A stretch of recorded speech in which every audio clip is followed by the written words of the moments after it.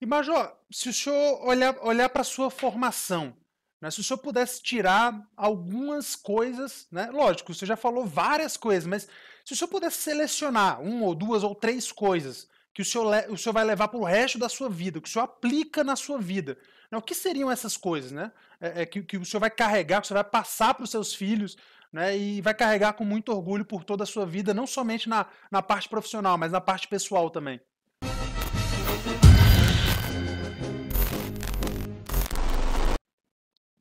Eu acho que, Tiago, assim, o código de honra do cadete, ele é maravilhoso. Eu, eu tenho né, meu filho, minha filha, eu acho que a gente ensinar probidade, honestidade, verdade, lealdade, camarada, é uma coisa que, que isso é básico, então isso é princípio, isso, então a gente aprende, isso entra para dentro da gente, não, não tem como. Mas o que, que eu mais levo da formação era aquele negócio de falar assim, cara, eu quero ser igual a ele. Então, eu tive vários instrutores, entendeu? Que, que motivaram, que falaram assim, cara, olha que voz de comando que aquele cara tem. Cara, olha como que aquele bicho é brabo. Cara, olha, entendeu? Então, tipo assim, eu fui ser, sendo um colecionador de coisas boas. E até as coisas assim, ah, não vou fazer. Então, eu aprendi até como não fazer também. Uhum. Então, eu sempre fiz assim, ó, vem cá, uma esponjinha, só que eu assim, me dá um pouquinho disso, me dá um pouquinho disso, me dá um pouquinho disso, porque eu estou forjando o tenente Navroski. E chegou no terceiro, no quarto ano, o pessoal da minha turma ficava até me xingando, porque já no terceiro ano eu já falo assim, ah, faca na boca, atenção, faca na boca, certinho, faca na... E o nego assim, o nego me zoava, falei assim, caralho, que nome é esse, Navroski? Faca na boca. Eu falei assim, faca na boca porque é vibração, cara. Entendeu? O, nego, o pessoal não fala assim, cara, vibração, tem que estar com a faca na boca. Eu falei, cara, então meu pelotão é vibração, Navroski é vibração. Cara, seis anos de tenente, seis anos o pelotão chamava faca na boca, entendeu? Nunca mudei. Isso era meu meu rótulo. E, e, o faca na boca ele foi essa essa assim, ó. O que que eu peguei, extraí de melhor de cada um? E aí entra o exemplo. Então, quando você fala que você está à frente de homens, conduzindo, você está liderando, não tem como você não prover o exemplo. E o exemplo ele se faz de você fazer eles acreditarem, deles conseguirem sair do coletivo, né? Aliás, desculpa, eles saírem do individual para o pensamento coletivo, a unidade de esforços. Então, você é um líder. Como que o líder ele tem que se portar? Ele tem que ser um cara que tem antivisão, né, ou provisão, ele tem que estar sempre à frente do tempo, ele tem que estar sempre observando e vendo e cuidando e sendo o exemplo. Então, isso não é uma coisa fácil. Não é. Só que você, com a experiência de você pegar tantos exemplos positivos e de tantas situações diferentes, onde que você está cansado, onde que você está com fome, onde que você está molhado, onde que você é bicho, e mesmo assim tu está olhando assim a pessoa que também está naquela situação que você e a pessoa está conduzindo, aí tu fala assim, caralho, calma aí, aquele ali é diferenciado. Uhum. Entendeu? E nós reconhecemos, conhece, nós, você mesmo pode falar para mim, Tiagão, terceiro, quarto ano, você já não olhava para o tenente, o capitão, e fala assim, cara, não tem aquele cara que quando ele abria a boca, todo mundo parava e. Hã? Com certeza. Então, é, é, esse... São as referências, né, Major, que são importantíssimas para a gente, né? E essa referência a gente vai guardar para o resto do coração, cara. E é tão mágico, sabe o quê? É, é, você se forma e dali a pouquinho você é essa referência, Thiago. Então, eu, hoje em dia eu tenho uma grata satisfação, um orgulho de ter sido instrutor, porque eu, no meu dia a dia eu encontro pessoal de 2014, pessoal de 2013, pessoal de 2012, que foram meus alunos. E às vezes o cara vem com um sorriso e fala assim, porra, ah, então o temido Tenente Navrosky, o cara vem, tem orgulho de falar com você. E tu fala assim, olha, cara, meu tijolinho na formação daquele camarada eu plantei. Eu coloquei aquele tijolinho e eu tentei, da minha forma, passar o máximo de ensinamento para aquele cara. E eu tenho certeza que esse cara, ele é o homem que ele é pelas virtudes, pelos valores e pelos ensinamentos que aquele tijolinho impactaram na vida dele. Com certeza.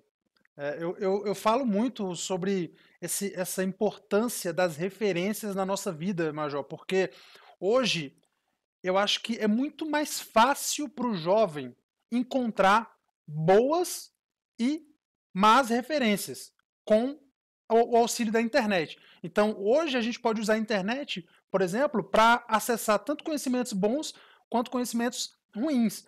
E se a gente se acostuma desde muito cedo, desde candidato, muito jovem, a procurar boas referências, isso que o senhor falou de, de, se espelhar em outras pessoas, quando a gente entrar numa formação militar, só vai se potencializar. Porque eu, eu já vou estar acostumado a olhar para as pessoas e falar assim: opa, peraí, o que é que eu posso tirar desse aqui? O que é que eu posso tirar desse aqui? Né? E, a, e, ao longo do tempo a gente vai se construindo com os pedacinhos dos líderes que a gente teve a oportunidade de, de, de interagir ali ao longo da nossa vida. Né? Eu estava falando com o Cacavo que uma das coisas bem legais é que, que, que eu vi, uma das coisas mais legais que eu vi foi no, no final do ano ali, né, eu era comandante de pelotão de recruta, eu ver os meus soldados falando gírias que eu falava. Né? A gente Exato. olhava pro cara e ele, e, e, assim, tique que eu, que eu tinha, e que eu tinha copiado de pessoas que eu admirava, eles estavam copiando de mim.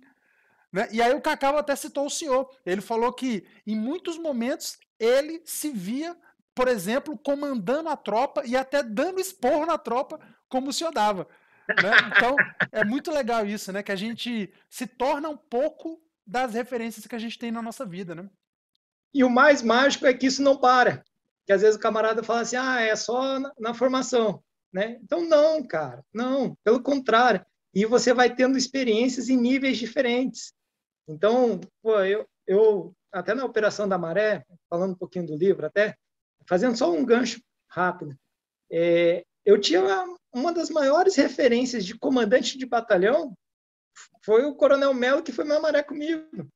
E, e ele impactou tanto a minha liderança que eu mudei muito a, a, o meu jeito tempestivo, às vezes o jeito mais de expor, por causa da serenidade, daquela observação que ele fazia e que ele estava sempre sereno, ele estava sempre conduzindo de uma maneira agradável, uma... só que ele estava no caos, ele estava no combate.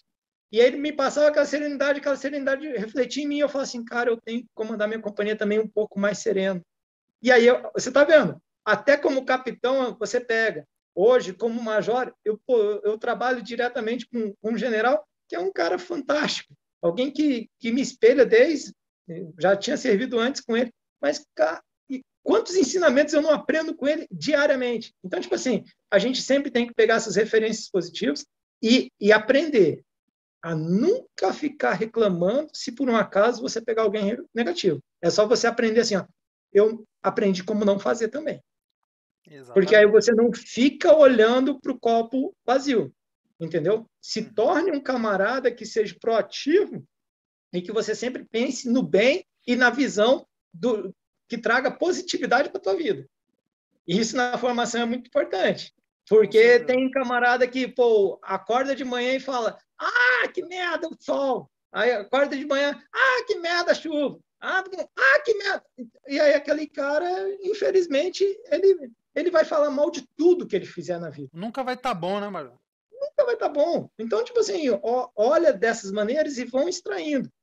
Hoje, hoje, esse pessoal que está acompanhando a live tem a chance de escutar um bate-papo, dois camaradas que pensam com copos porra, sempre mais cheio, entendeu? e que e, e essa referência pegue para você assim, assim, Cara, essa frase, esse jeito, essa maneira, pega para você e, e tenho certeza que você já desde já já vai saber conduzir os seus homens quando assim você for exigido. Com certeza. E, e Major, é importante né, é, é a gente falar, e, e, o senhor falou isso muito bem, quando o senhor citou aquela, aquela sua etapa ali na AMAN, é importante falar para o jovem que o Tenente Tiago Henrique, o Major Navroski, outras pessoas que de repente é, eles têm contato, eles não, se, eles não nasceram do jeito que são. O Major Navroski de hoje, ele não nasceu assim. Né? Quando ele estava na MAN, ele, tá, ele citou agora há pouco as dificuldades que ele teve. E o jovem ele tem que entender que são essas dificuldades que fazem a gente se formar. Né? É isso que cria os nossos músculos. Né? Não tem como você, ah, caramba, ó que legal o Major Navroski, eu quero muito ser que nem ele. Não tem como você aprender a ser o, o, Major Navroski ou qualquer outra pessoa só lendo livros ou só na teoria. Tem que, tem que sofrer, né, Major? Tem que passar pela prática. Não, o resultado requer ação, cara. Entendeu? Então não adianta. É, não, não adianta. A gente pode até ter é, o inchaço cerebral, né?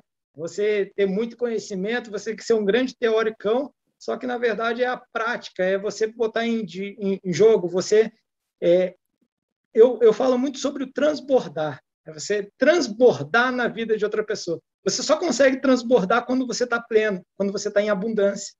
Porque quem é escasso não consegue transbordar, porque não tem o que transbordar.